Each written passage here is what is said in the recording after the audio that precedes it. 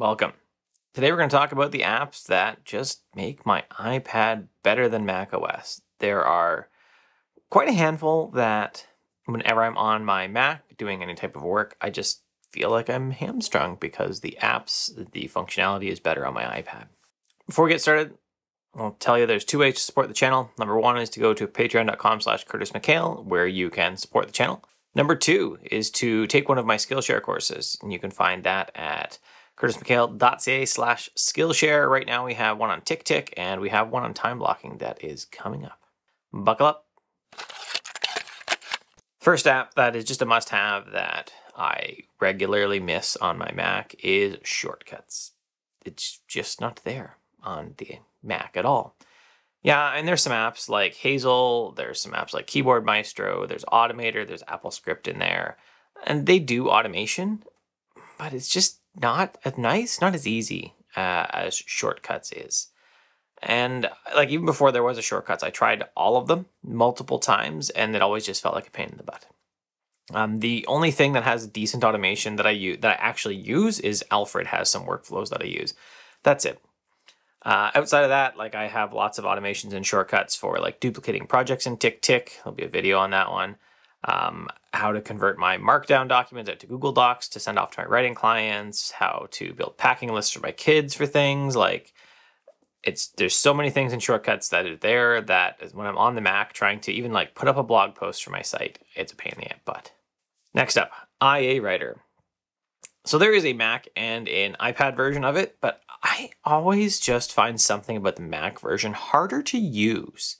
I don't know what it is. I don't know why it's harder. And maybe it has to do with how it handles the file window on the left hand side. But like moving a file from one folder to the other just feels harder on Mac, which seems silly. I mean, it's got a, a better, air quotes, a more traditional, better finder. And yet it still feels harder to use on Mac OS than it does on iPad OS. For some reason, I much prefer iA Writer on my iPad eh, for everything, not just for like the focus on a single thing, but I just prefer it. My task manager of choice is TickTick, and it's like it's literally just missing features on macOS for some stupid reason. The templating features that they say that they have in their like features list don't exist on macOS at all. And then most of the templating features are like a task with subtasks and, and that's not how I work. It's just far better to have the shortcuts way that I run on iPad OS that duplicates like a whole set of tasks, and then I can get the subtasks in there easily. I like I don't know why they don't have feature parity. It seems stupid. That's what it seems. Now, the second thing I really like about it is the today view on iPad, where I can actually resolve the appointments as they come up, the different calendar items. I can resolve them on my iPad and I can't do that on macOS, so they just stay there cluttering up the view all day, which is no fun. Next up, kind of two apps. It's Affinity Photo and Affinity Designer. So not for every thumbnail, but for most uh, thumbnails, I gotta go into Affinity Photo, and it's just better. Like, I, I know there's one on the Mac, but I haven't actually tried it, and I actually got away for a long time. Um, I haven't edited photos really on my Mac in a long time. I dropped my Adobe subscription like I don't know, years ago, years and years and years ago. I haven't had it, and I'm quite happy to not pay Adobe anything because their service is terrible and their apps are really buggy. But Affinity Photo on my iPad just it works. Affinity Designer when I need some, you know, a little bit of a vector graphic, it just works. It's easy to use. I love them both. I really hope the only Affinity app that I use on my Mac is actually Affinity Publisher there has been some hints in some live stuff that says that's coming to iPad, and once it does, oh my, I will just use it on the iPad. I'll buy it a second time. I don't care.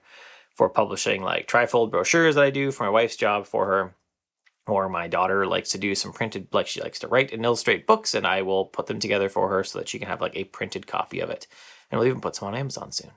The second photo editor that I use on my iPad is Darkroom. It's more akin to Lightroom if you've heard of that or used that with with Adobe's software. It's good for like color correcting photos, for doing some cropping, for applying some filters to it to get certain looks. Mo all of my photos, really. Uh, all the photos I use for thumbnails go through that first because it's just so easy to use. And then I don't have to worry about Lightroom. I don't have to pay Adobe anything. Finally, in my media editing apps, there is LumaFusion. It's every video you've seen for me in the last like number of years has been out of LumaFusion. Before that, I did some that weren't on my iPad, but it's been a long time since I've done those. It's excellent for video editing. Uh, I run Brusfri for audio denoising. Um, and every time, so like I do some screencasts on my Mac too. But when I do those, I actually record off my camera like I'm doing now, and then I record the screen on my Mac. And like I'll bring my 4K footage off my camera, stick it on my iPad, and I'll have started rendering the ScreenFlow stuff already. And then I will take that into LumaFusion. I'll pull the noise out, I'll denoise the audio, I'll re-render it as like a single 4K file with the denoised audio, and I'm still waiting for like the single render of uh, the ScreenFlow to go. I know that ScreenFlow, it's probably ScreenFlow a bit. I've got a you know a fairly new Mac Mini. I bought it in early 2019, mid 2019. Right, it's got a lot of RAM. It's got the i7 in it. It's fairly fast, but it just takes forever to render things on Mac OS. And so then I put everything together and do all like the final edits on my iPad because it's just so much faster, so much easier to use. On the consumption front, music and Sonos they work better on out of my iPad. Like that's it. Um, even when I'm video editing, you might hear a little bit of music in the background. If you're like in my office, I have some light music, usually some chill hop or something pretty mellow for that time. But airplaying from my iPad over to my Sonos One Gen 2, it's got the Amazon device on it, and we'll say its name because it'll start talking to me. Um, it just works on my iPad. And coming off my Mac, there's always issues with AirPlay lag. It just never works. So I only, if I'm wearing headphones uh, my Mac, then I will use the Sonos device. Otherwise, I just play it off my iPad all the time, and my iPad sits, you know, off to the side, even when I'm working on my Mac, and I will just play pause from the screen of the iPad because it doesn't work on Mac OS very well at all. A while back, I did a series on RSS readers, and Unread 2 was my winner. Ever since I found Unread, it's been like the reading experience by which I judge all other reading experiences by. Because uh, it's just stellar, and there's no version of it on macOS. So what I ended up using there is I use NetNewsWire, but I never like it. I always want to be reading RSS on my iPad because it's just such a ni much nicer experience there. It has stellar keyboard support, Unread 2 does. It's got good gesture support. It's beautiful. There's just nothing. It's it's the perfect app. If you're looking for an RSS app, go for Unread 2. It's excellent. Now, one big app that I didn't mention that I really feel um, as one, an app that I feel pulls me back to my iPad is Blink Shell.